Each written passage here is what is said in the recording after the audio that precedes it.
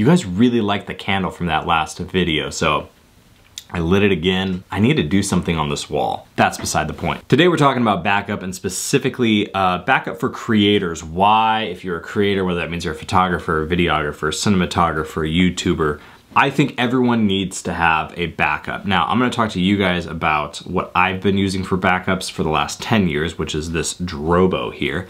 Why I recently just switched to the Synology. I think this is the DS1621 Plus. I just kind of give you guys some general overview on what backup is, different ways to do backup, uh, what's kind of most cost effective, what's gonna help you be most successful and why I chose this particular setup that I did to sort of maximize um, my ability to create. That's actually a really, I think, important thing because I've heard some YouTubers talk about, hey, I just shoot video and I once I finish the edit, I throw everything away. I have tried really hard not to do that. As you're growing as a creator, when you put content out there, if you have the ability in your future content to reference your past content when it's relevant and use some of those assets from those past projects in your future projects, that allows your past projects to kind of continue to pay dividends for you and get sort of new life by being referenced in that video. When I made the Trinity video talking about Canon's RF Trinity lenses, I have the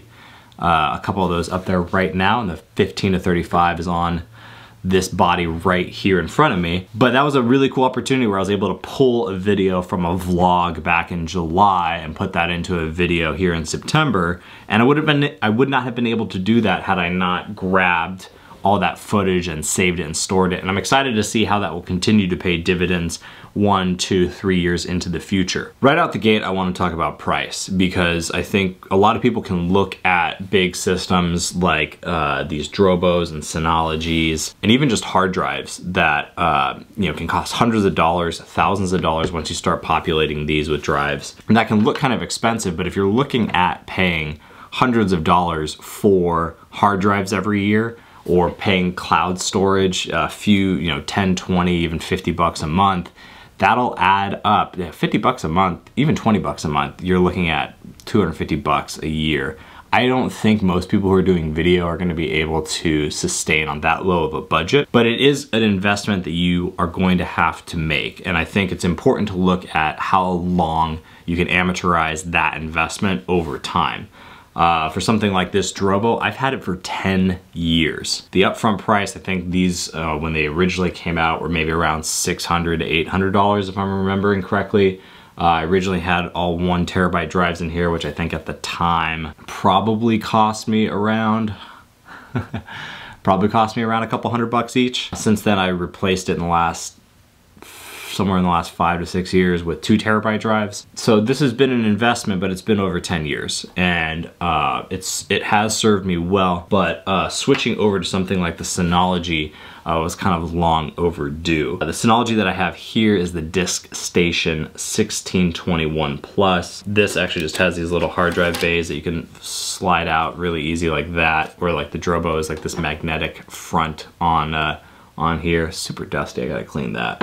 Ooh, but this is actually decommissioned. I, uh, I'm not using it anymore. This is a Gen 2 with like Firewire 800 and it's, it's just very old and uh, it was about time to get replaced. So something that you've probably heard when it comes to backup is RAID, which stands for Redundant Array of Independent Disks. What that just means is that you have multiple disks kind of working together to have some redundancy for your data wherein if one of those disks fails, you can replace it, the RAID can rebuild itself, and you can have uh, continue to have access to your data and not be not be losing data. Now, with the Drobo, it only had one disk redundancy, at least in this four pack of disks here. I think they make a five pack, but last I checked, Drobo's store was sold out. Both of these systems have a hybrid RAID solution. And what that means is where in the past with most RAID setups you would have to have the same exact size disk in order to build a RAID. These can accept sort of any size disk from like one terabyte to I think in here I have 12 terabyte disks now. What that allows you to do is it allows you to grow your storage at a pace that makes sense for you, your budget, and the work that you're putting on it. Now the difference between these two setups is something called direct attached storage or DAS, and network attached storage, NAS. You've probably heard either of those terms or acronyms. Uh, direct attached storage just means that this has to be directly attached to a computer. I've had this attached to like an old Mac mini so it could still kind of serve up files as like a NAS. And this Synology here uh, doesn't need to be attached to it. It just has ethernet ports in the back and that can go attached to your router and uh, get you get you connected to your data. I brought out a ton of these disks because I was one of these people that while this was getting full, I was thinking, ah, maybe I can buy a couple extra hard drives. But if you're someone who is a professional creative, I don't think this is the way to go, at least not for your long-term backup. Sure, maybe you're gonna have one of these on you when you travel to back up your stuff on the go so you at least have two copies of it but uh, I would highly recommend getting something like this, especially if you are going to be doing video. I think for photographers, you probably don't need something as large as the Synology. I'm, I'm shooting on the Canon EOS R5 with that 45 megapixel sensor. Video is massive. I shoot in 4K. I shoot in the 4K downsample from 8K. I hope to start shooting in 8K once I get that Atomos Ninja 5 Plus. Uh, and those are just massive files. Like every time I sit down here to record a YouTube video, that's about 50 gigs. Uh, photography with this camera is wild. It's I average I think about 50 megabytes per image. And most of my shoots are somewhere between like 300 and 500 images. So really quickly that turns into just gigabytes and gigabytes and gigabytes of info. I actually I produce nearly I think a terabyte of data every single month, which is now kind of wild. Uh, but when I was first starting out shooting 1080p video on the EOS R and doing just, you know, some photography here and there, not necessarily doing like full-time photography stuff, that was a lot less. I think I was maybe producing like 50 gigs um, versus like now a terabyte, which is 20 times as much data.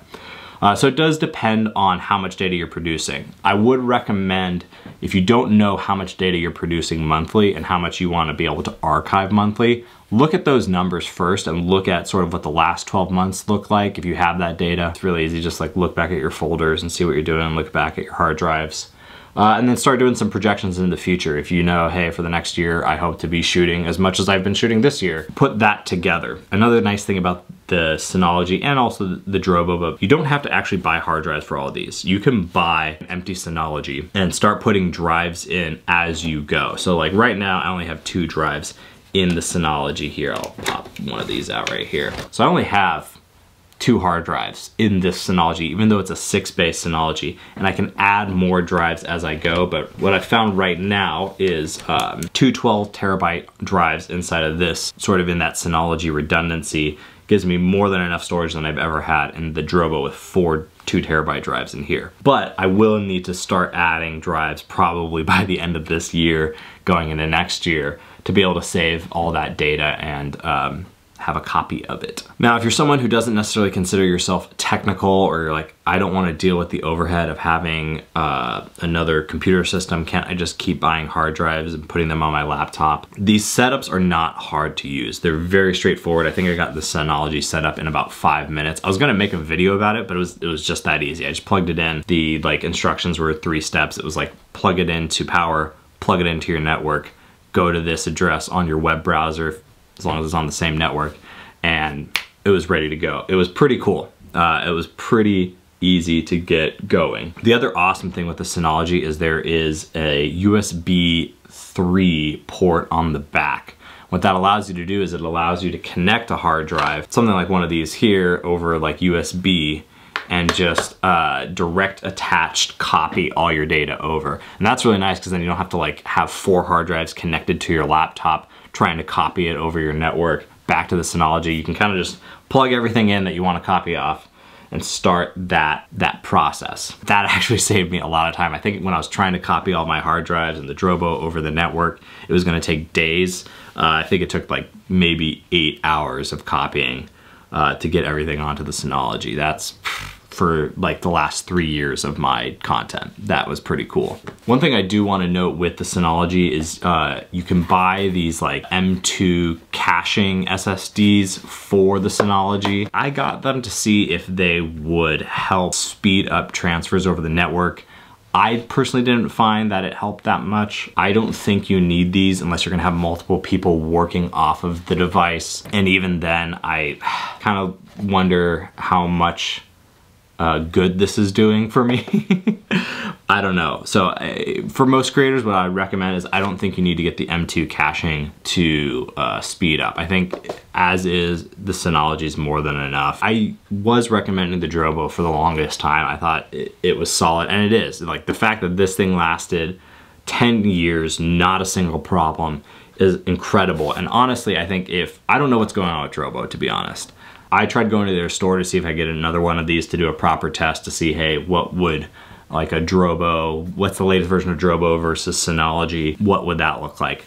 Uh, all of their products are out of stock and I have not seen any of their stuff come in stock in months. Synology, I was able to get this off of B&H and have it shipped to me in like two days. So far the Synology software is great and I'm already seeing that this is probably gonna be the device that I recommend to uh, most creators. Uh, they do have a, I think, 12 or two disc option that I would recommend if you're just doing photography and maybe doing like light, just a little bit of like 1080p video, you could probably get away with that two bay.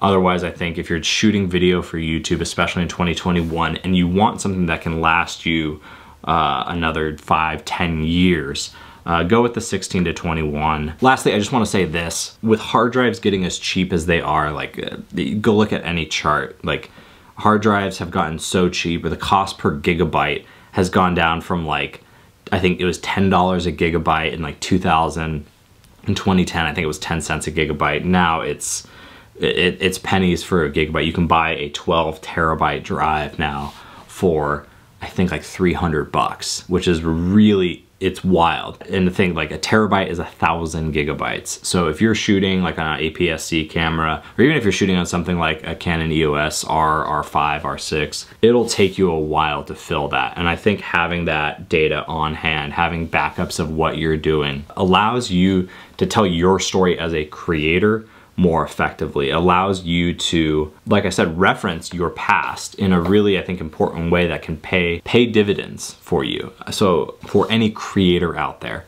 uh, I highly recommend getting a backup solution that allows you to save everything that you're doing and um, allows you to get access to it really quick and easy um, no more having to fiddle with hard drives, all these external hard drives, and trying to keep a catalog of what's on where, taking tape and putting that over something, just being like, oh yeah, this is, or this is October 2016, right? And it's like, oh, I gotta go find that hard drive, and then you're carrying around all these hard drives.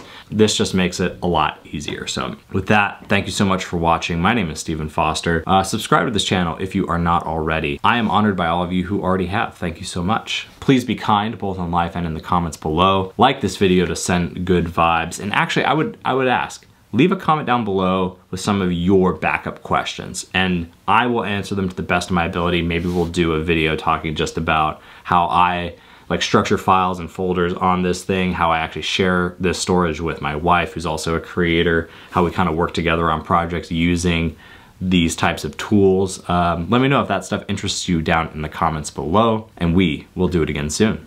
Oh, isn't this great? Thanks, Elon.